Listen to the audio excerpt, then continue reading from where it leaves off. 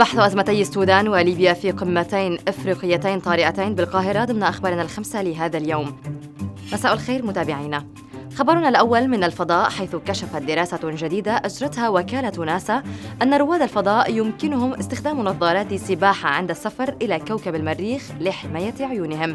وأوضحت أن هذه النظارات تتمكن من حماية القدرة على الإبصار. في وقت يتعرض رواد الفضاء على متن الرحلات الفضائية الطويلة بمحطة الفضاء إلى تغييرات تلحق بعيونهم وتستمر لسنوات لا سيما ما يعرف طبيا باسم ضغط العين.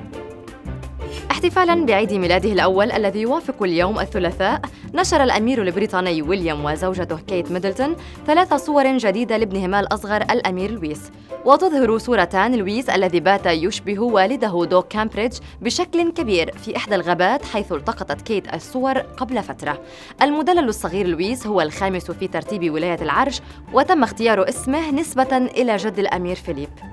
في خبرنا الثالث قالت ثلاثة مصادر حكومية وعسكرية في سريلانكا لرويترز إن الشرطة تحتجز مواطنا سوريا لاستجوابه بشأن الهجمات التي وقعت في عيد الفصح واستهدفت كنائس وفنادق. كما أعلنت حالة الطوارئ في البلاد بالتزامن مع بحث السلطات عن المسؤولين عن الهجمات الانتحارية.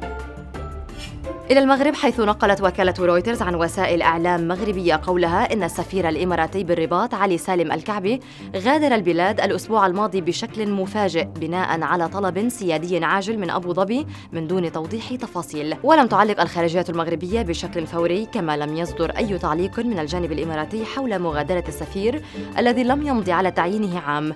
وكان ناصر بوريطة وزير الخارجية المغربي قد بدأ جولة خليجية بداية الشهر الجاري شملت السعودية السعودية، الكويت، البحرين وقطر ولم تشمل الإمارات. خبرنا الأبرز اليوم من مصر حيث أعلنت الرئاسة المصرية في بيان لها أن القاهرة التي تتولى حاليا الرئاسة الدورية للاتحاد الإفريقي استضافت اليوم قمتين إفريقيتين طارئتين لبحث الأوضاع في السودان وليبيا وهذه هي المرة الأولى التي يلتقي فيها قادة أفارقة على هذا المستوى للبحث في الأزمتين القائمتين حيث تبحث القمة الأولى الأزمة السودانية لا سيما بعد تعليق التفاوض بين حركة الاحتجاج والمجلس العسكري الانتقالي الحاكم الذي يطالب برفع الحواجز التي تغلق الطرق المؤدية إلى مقر قيادته.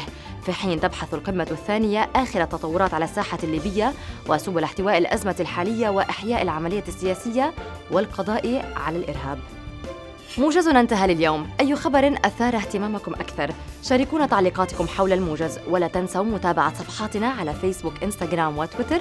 أراكم في موجز جديد.